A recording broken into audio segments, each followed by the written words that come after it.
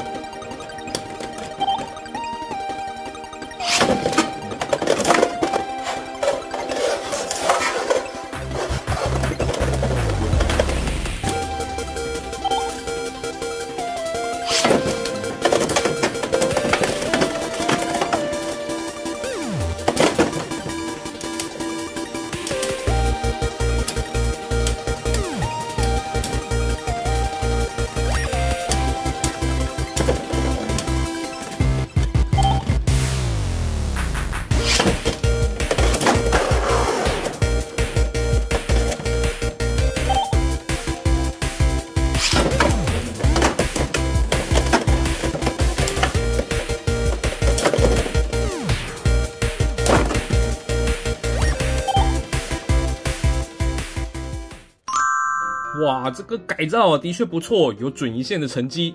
如果装 S 轴可以表现成这个样子，相信 N 跟 HN 啊，应该都可以开发看看。如果换成球轴的话，表现可能会更好一些，比如说 B 轴或 O 轴。再测一次，还是觉得独角兽非常的好玩啊，反击非常的猛，每次在对撞的时候都会很期待暴击。那之前有战友推荐，如果打 F 或 T 轴，然后斜射，表现的非常暴力，看起来也非常好玩。综合其他的所有表现，我觉得这颗战刃要挤上队伍里面是不太需要担心了。